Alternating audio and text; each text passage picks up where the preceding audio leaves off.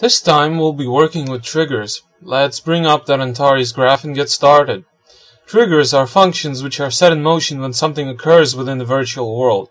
In this particular case, we're going to make a wall, technically it's a door, disappear and reappear when the avatar moves through it. As you can see, our object is already in the hierarchy and it's helpfully called trigger. Let's drag it into the graph. Immediately, we're going to bring up the logic block settings windows you'll see. This is going to determine the object's behavior. Previously, we did a transform, but this time we're going to do a mesh renderer. That one governs an object's visibility. There it is. And now we're going to create several more functions to play around with. Uh, we need one function to make the mesh, the 3D object, visible, and another one to make it invisible. We'll search for a mesh renderer setting to create this toggle.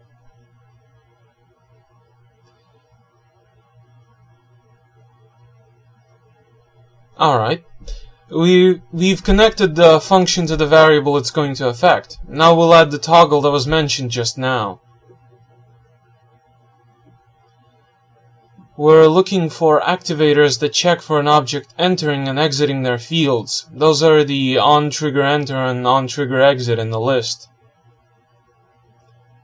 We could use advanced activators, you can see their branch right there, but that's something that'll be explored later. Basic ones are just fine for now.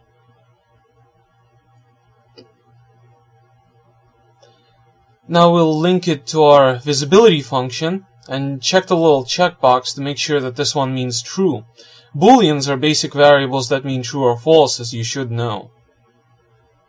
And here is our onTrigger exit activator. Let's copy and paste our mesh visibility function and link our trigger exit activator. We'll also need to have it linked to our variable.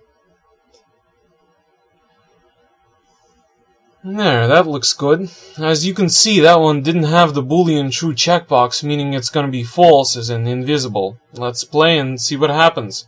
There's our engineer, let's watch him. Now keep an eye on the Antares graph to the right of the main window. When the functions execute, they're gonna briefly flash red, which is also a cool guide. There, you should have seen that. The wall blinked in and out of existence as the avatar walked through, and there it was again. Let's go slowly this time and keep an eye on the graph. There. Uh, saw that?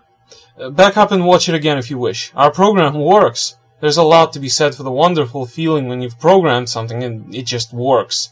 Even when it's something as simple as this. Especially if it's as simple as this, in fact. Hope you've understood and enjoyed this tutorial.